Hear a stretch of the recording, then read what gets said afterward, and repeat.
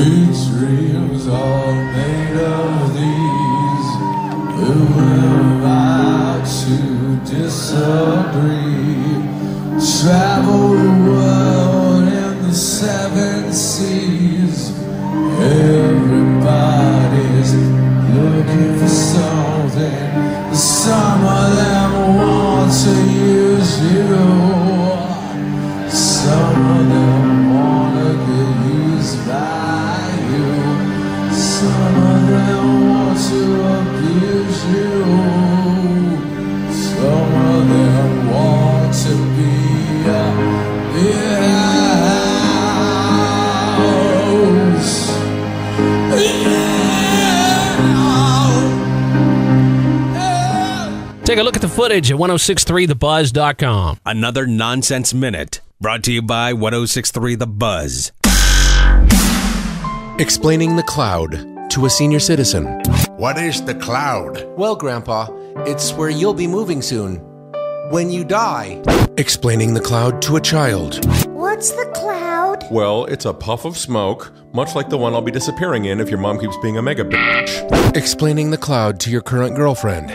It's where I keep all the sex videos I shot with my exes. What? Love them or hate them, I do believe Bon Jovi belong in the Rock and Roll Hall of Fame, and there are so many out there that do belong in the Rock Hall, and, and people are constantly taking uh, swings at the Rock Hall because of that. I'm one of them, you know, and Howard Stern couldn't help himself while inducting Bon Jovi back a couple of weeks ago. He took a shot at Jann Wenner. He's the co founder of the Rock and Roll Hall of Fame. He's also a co founder of Rolling Stone uh, saying that, uh, you know, for those who don't know, Jann is the man in charge, but he's not sure why. The guy doesn't play a musical instrument, he doesn't have a band, but he did start a great magazine, Rolling Stone, and now it's the size of a pamphlet. He said Jann required years of pondering to decide if this glorious band that sold over 130 million albums could be inducted. Now, in Wenner's defense, there is a vote, but ultimately it seems to me like he has the final say so. And I've said it all along. They should change the name from the Rock and Roll Hall of Fame to the Rolling Stone Hall of Fame. It'd be much more accurate. Well, you and I know all about the hard rock and heavy metal culture. I mean, you don't just listen to this music, you eat, sleep, and breathe it. And there's a documentary on the way called Long Live Rock Celebrate the Chaos. It's pretty much about people like us. They interview fans. They also interview a lot of artists Rob Zombie, Jonathan Davis, M Shadows, Corey Taylor, and a bunch of others, including Lars Ulrich, who always has something to say. In the trailer, he says this quote, It's a place of solidarity. It's a place where the disenfranchised feel like they belong to something bigger than themselves. Part of the reason we all gravitate toward this music is it gives us a sense of belonging and a sense of community. End quote. They don't have a release date yet. It looks like they're looking to reach their goal before they put it out. You can go to pledgemusic.com. Uh, in the meantime, watch the trailer, get more details, and the link to make your donation at 1063thebuzz.com. 1063 The Buzz presents Nonsense Minute. They got it all wrong. It wasn't the apes that took over the world. No. It was them. They started with the trees. And then they pecked down all the scarecrows. No one could stop them. It was the planet of the crows. Once in power, the crows became mean. They imprisoned all us humans. They took over Broadway. They made love in our beds. They were ruthless to squirrels. Until the day we fought back. Planet of Kaka. Coming soon. Head from Korn has a documentary on the way called Loud Crazy Love, and it's not really the standard sex, drugs, and rock and roll thing you would expect from a documentary about a rock star. No, it's actually about his relationship with his daughter, Jennea. It's, it's quite complicated. I mean, because when she was born, he was in Korn, he was gone all the time, you know, and later he'd been really hooked on crystal meth. He decided to give all that up. He left the band, found religion, and, you know, tried to mend that relationship. It sounds like a really interesting documentary. I love the angle they're taking, and it's going to premiere actually here in our neck of the woods. There's only two premieres one at the Dallas International Film Festival, May 3rd through 10th, and the other premiere will be out in Nashville, that film festival out there, May 10th through 19th. Uh, they don't have a release date for the wide release, but it's expected to be sometime in the fall. You can get more info at loudcrazylove.com.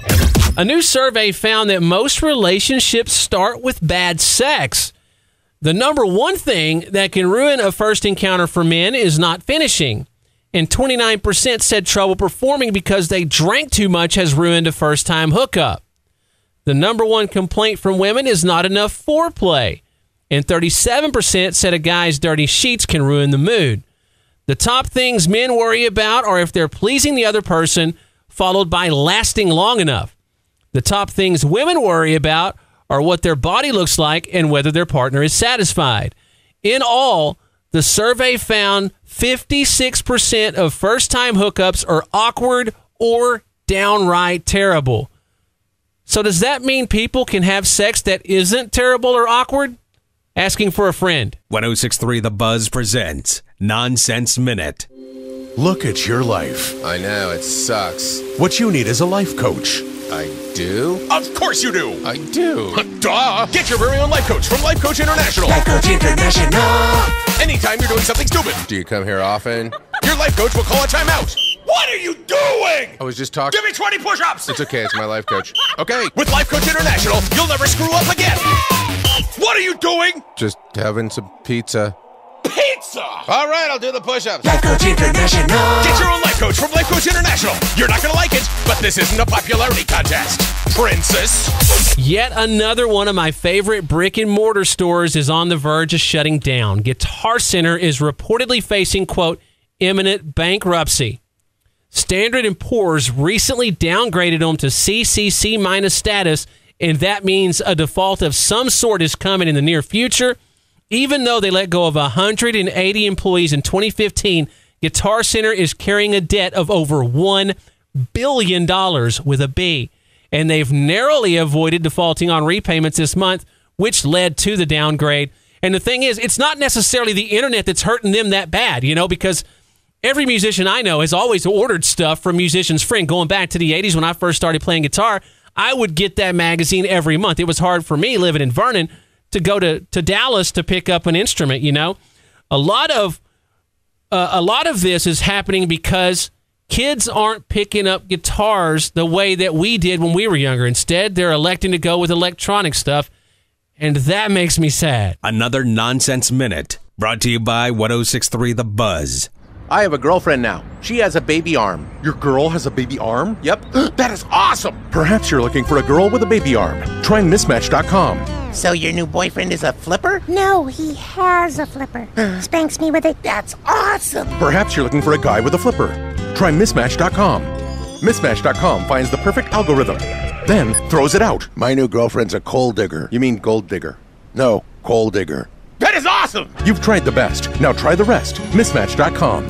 During a Q&A earlier this month at the Spooky Empire Convention in Orlando, Florida, JJ French of Twisted Sister took what appeared to be a swipe at Judas Priest, saying that look at what you've got with Priest. KK Downing's gone, he went to golf, and now Glenn Tipton's gone, and it's wonderful. And now it's a cover band, essentially. Somebody out in the audience got pissed about that, and he clarified himself, saying, wait, wait, hold on. He said he comes from a world of cover bands. When Twisted Sister started in the bars, the cover bands that played the bars were better than the bands they covered. He went on to talk about Rolling Stones, uh, the Rolling Stones, who he's a big fan of. He says the guys can't even play anymore, and it bothers him that they charge $800 for a ticket. So essentially, he's saying that while he considers Judas Priest to be a cover band nowadays, they actually sound better to him, I guess. You can check out that interview at 1063thebuzz.com. Hey, thanks for checking out the Afternoon Buzz Rewind podcast. Join me, Johnny Thrash, for the Afternoon Buzz weekdays from 2 to 7 on Real Rock Radio 1063 The Buzz.